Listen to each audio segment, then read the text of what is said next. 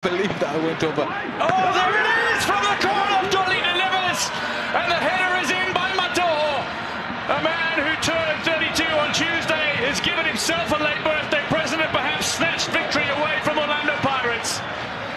Tau Amador can celebrate. Kaizer Chiefs can celebrate, at least for now. And Stuart Baxter's record in Soweto derbies is looking to remain very much intact.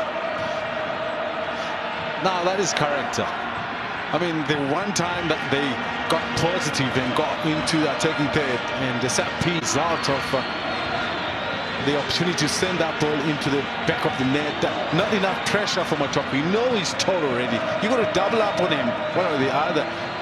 And he attacks the ball beautifully and just shave it slightly to redirect it towards goal. It's a great goal. But how about the delivery from Dolly? Look at the quality of that Dolly delivery.